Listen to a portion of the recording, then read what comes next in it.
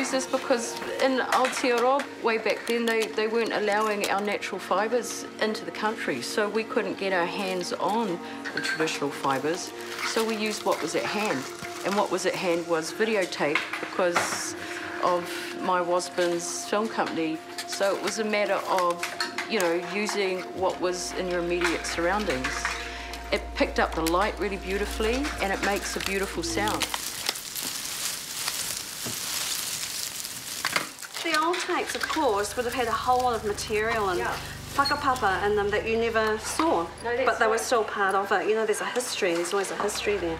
It's not like it's a dead thing just because it's modern.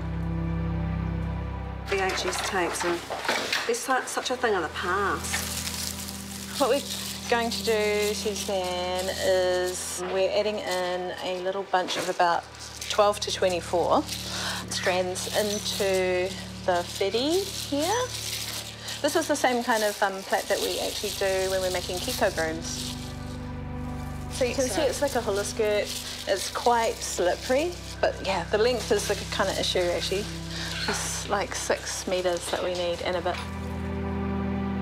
I'm so happy to see my Pacific sisters again. Yeah.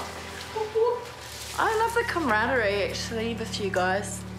I love it when we're all working together and just brings memories of us all being together and doing this actually. It's been how many years? 25 years and here we are back in a room again working collaboratively on a show. I love it. Yeah. It's magic.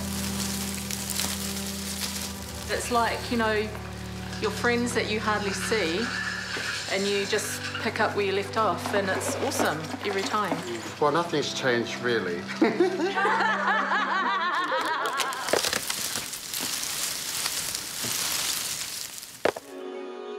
Pacific Sisters has always been a safe space no matter what has gone on.